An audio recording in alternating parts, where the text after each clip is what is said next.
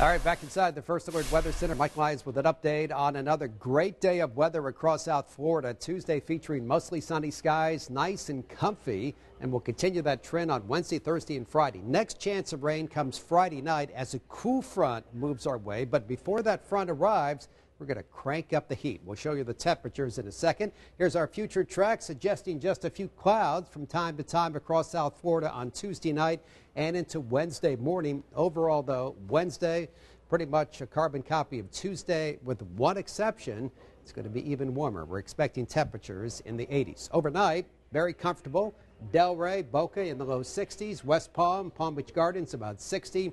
53 in Indiantown, but along the Treasure Coast temperatures, as you can see in the upper 50s. Then tomorrow, region wide, everybody in the 80s. A warm, toasty day. 81 in Delray, 80 in Stuart, Indiantown. Forecast high on Wednesday, 82 degrees. Now that small craft advisory continues in effect. Rough boating again on Wednesday, seas 5 to 7 feet, but on land, no issues here. Wednesday morning, 61 by 2 in the afternoon. We're in the upper 70s. Wednesday night, nice and balmy with readings in the 70s as well. Thursday, just a tad warmer. Friday, the same. We'll be in the mid 80s. Friday night, a few showers. Then a great weekend in South Florida.